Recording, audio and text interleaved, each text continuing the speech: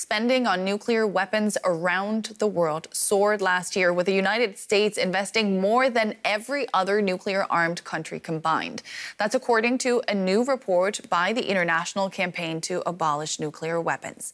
Nine states have nuclear arms the US, the United Kingdom, France, China, India, Pakistan, North Korea, and Israel. Now, according to the latest figures, in 2023, they spent a combined total of 91.4 billion US dollars, an increase of 13% on 2022. The US alone accounted for 80% of that rise, while China was the second biggest spender, with Russia third. And Susi Snyder is the program coordinator at the International Campaign to Abolish Nuclear Weapons. She's a co author of this latest report. Susi, welcome to DW. Now, what are those countries which have nuclear arsenals spending the extra money on?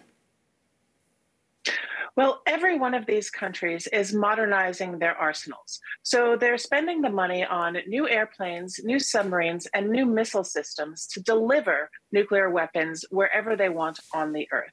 It's only nine countries, but it's a huge amount of money. We calculated about $3,000 per second spent in 2023 on weapons that most of these countries hope never to use and that really should never be used.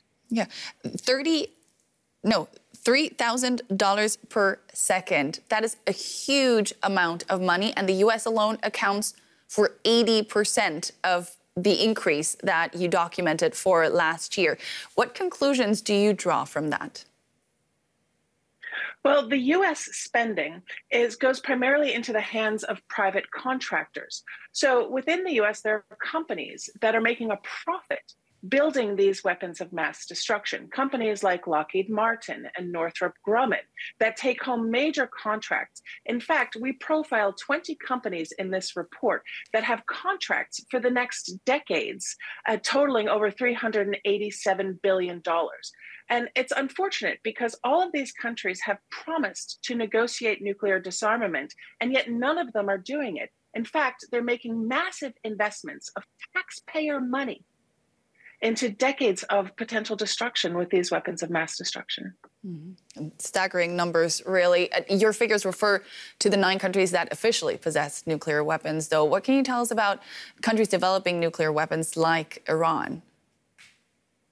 Well, we know that Iran does not have nuclear weapons. And there are 44 countries in the world that have the capacity to build nuclear weapons, and the majority of those have chosen not to. Iran has not yet crossed the thresholds to decide to make nuclear weapons. And we don't analyze countries that don't have them. We focus on the nine that do and the nine that need to end this wasteful spending and redirect it towards long term useful security, like the nearly 100 countries that have joined the Treaty on the Prohibition of Nuclear Weapons, that reinforce the norm that nuclear weapons are unnecessary for anyone's security. And in fact, we're better off with negotiations than we are with weapons of mass destruction. You are not the only ones looking at this issue. Your colleagues over at the Stockholm International Peace Research Institute also just released a report stating a higher reliance on nuclear weapons worldwide. Are we returning to a world under threat of mutually assured destruction here? Well, based on our calculations, we're certainly re- returning to a nuclear arms race. And with spending at this level into new nuclear weapon systems across the board, it's of dire concern to everyone. The thing is with nuclear weapons, the impact of these weapons do not stop at the border. You cannot use a nuclear weapon and hope, oh, it'll just only injure those on a battlefield. These are weapons designed to cause mass civilian harm.